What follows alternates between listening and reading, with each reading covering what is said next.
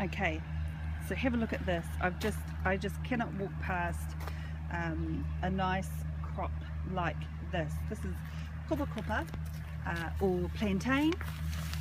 Um, it's the uh, it's the um, the thinner leaf variety, uh, but it's all the same to me.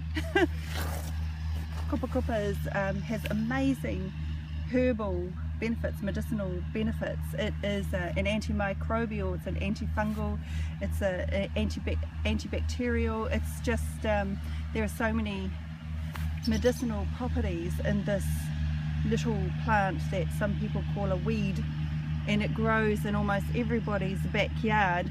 Um, this one is just, is growing um, wonderfully well you know usually they, they, they're a lot smaller than this. Well, people mow their lawns and they don't get to grow this big but this one's growing quite abundantly. Um, I can never have enough kopakopa in my um, in my cupboards. So uh, but we're going to leave that one there. It's looking really well.